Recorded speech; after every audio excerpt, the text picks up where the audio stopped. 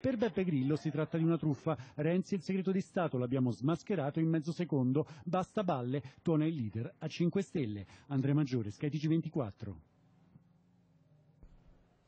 E ci riagganciamo proprio a questo perché insomma l'accusa più forte è venuta immediatamente proprio dal blog di Beppe Grillo, Beppe Grillo che definisce tutto un bluff e cita anche Reagan quando promise la verità sugli UFO. Eh, saluto, già lo eh, vediamo collegato con noi, Angelo Tofalo, Movimento 5 Stelle, anche membro del eh, Copasir. Tofalo, buonasera. Buonasera, buonasera a lei. Allora, eh, che cos'è che non convince, eh, al di là delle parole usate da Grillo sul blog del Movimento 5 Stelle per quanto riguarda eh, la decisione, questa strada, come più dicono, intrapresa da Renzi?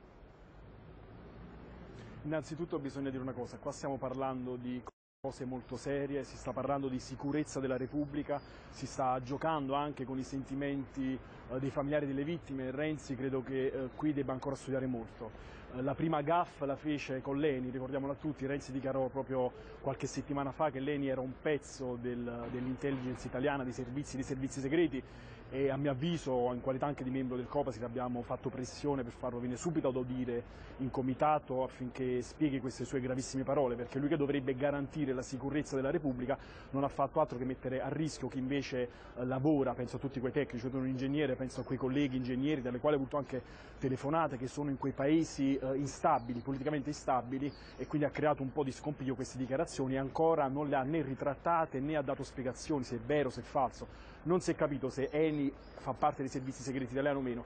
Io credo che Renzi stia giocando con il popolo italiano, non si può ad esempio, faccio l'esempio del, del DEF, riassumere in 15, in 14 tweet, poche ore fa ho visto il suo ultimo tweet che riguardava proprio questo argomento e già ritrattava quanto dichiarato da lui sabato a Repubblica, in quel caso aveva parlato di desecretazione, ma per legge è assolutamente una cosa falsa, lo sappiamo che non c'è il segreto di Stato, qua si sta parlando di stragi, quindi parliamo di altre carte a disposizione di magistrati, per cui una bufala incredibile di Renzi che la spara grossa, non so, forse per ottenere voti per queste europee. Oggi ho letto, po po pochi minuti fa ho letto l'ultimo tweet e infatti già eh, ritrattava e parlava di declassificazione. Io ripeto, credo che Renzi su, per quanto riguarda l'intelligence debba un po' approfondire questi argomenti, quella che la legge eh, 124 del 2007, quella che sui beni eh, culturali del 2008 che regola gli archivi, ecco. perché poi bisogna, bisogna, fare attenzione agli archivi, eh, perché c'è un archivio eh, di Stato accessibile a tutti, quando dichiara ad oggi, c'è poi un archivio storico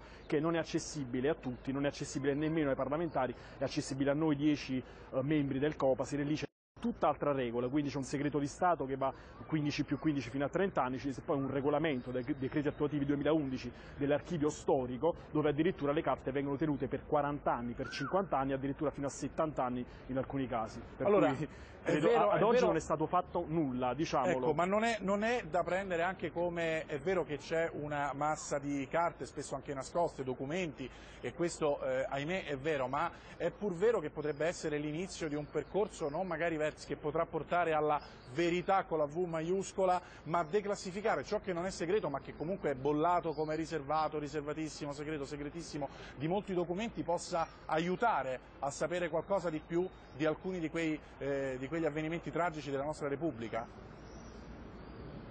Io credo proprio di no, può aiutare sicuramente a diffondere dire, la cultura del sapere per specialisti, per appassionati, ma queste carte sono già a disposizione di chi doveva garantire queste cose. Io vi faccio l'esempio di un caso al quale mi sono legato molto, è quello di, uh, di Ilaria eh, Ilaria Alpi e Rovati in quel caso lì, dove abbiamo commemorato proprio qualche tempo fa qui in aula, ebbene lì si parla di 8.000 fascicoli, eh, anche lì in aula il governo disse di avviare subito la desecretazione, in realtà si tratta solamente di 152 fascicoli su 8.000, poi bisogna anche capire come funzionano questi archivi, come vengono messi questi fascicoli all'interno dell'archivio, quali sono le parole chiave da ricercare, adesso con la nuova legge si sta passando una digitalizzazione di tutto il materiale che sicuramente aiuta aiuterà anche noi che eh, ci lavoriamo, però eh, non bisogna prendere in giro gli italiani, ripeto, giocare con i sentimenti dei familiari delle vittime, perché poi eh, in queste carte, io ripeto sto seguendo molto quello di Laria Alfi e Rovati, parliamo di 152 su 8.000 fascicoli, per cui nulla, per cui praticamente nulla, in quel caso lì